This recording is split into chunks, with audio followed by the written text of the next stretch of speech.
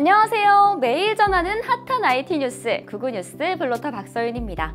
오늘은 어떤 소식이 있는지 같이 한번 보시죠. 첫 소식입니다. 네이버가 BTS의 소속사 빅히트 엔터테인먼트에 투자한다는 소식입니다. 우선 두 회사가 각각 운영 중인 브이라이브와 위버스를 합쳐 새로운 팬 커뮤니티를 만들 계획이라고 하는데요. 1년 정도로 예정된 통합 기간 동안 두 회사의 각 서비스는 기존처럼 유지됩니다.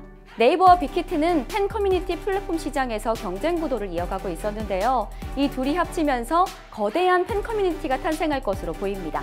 네이버와 빅히트의 새로운 플랫폼은 어떤 모습일지 기다려보겠습니다. 두 번째는 애플입니다. 실적 발표 시즌을 맞은 지금 애플의 실적이 화제인데요. 전년 대비 총 매출과 주당 순이익이 각각 21%, 24% 증가하면서 월가의 예상치를 상회한 모습입니다.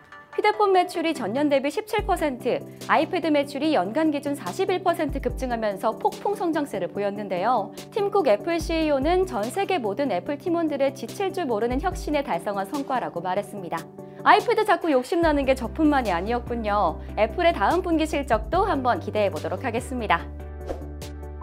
마지막 소식 다시 한번 네이버입니다. 네이버의 실적 발표 소식인데요. 지난해 네이버의 연간 영업이익은 1조 2,153억, search 플랫폼, commerce, 핀테크 등 사업 각 부분이 고른 발전을 이어간 결과입니다. 특히 콘텐츠 부분의 연간 수익은 4,602억 원으로 전년 대비 48.8% 성장했는데요. 앞서 전했던 왓패드 인수, 그리고 빅히트와의 협력으로 찬란한 미래를 그리고 있는 네이버. 이 성장세를 이어서 앞으로도 쭉 뻗어나가기를 바랍니다. 네, 오늘 소식 여기까지입니다. 오늘 바람이 세게 분다고 하는데 이럴 때 길 가다가도 구조물 떨어지거나 할 수 있으니까 항상 조심하시고요. 그럼 우린 내일 다시 만나요.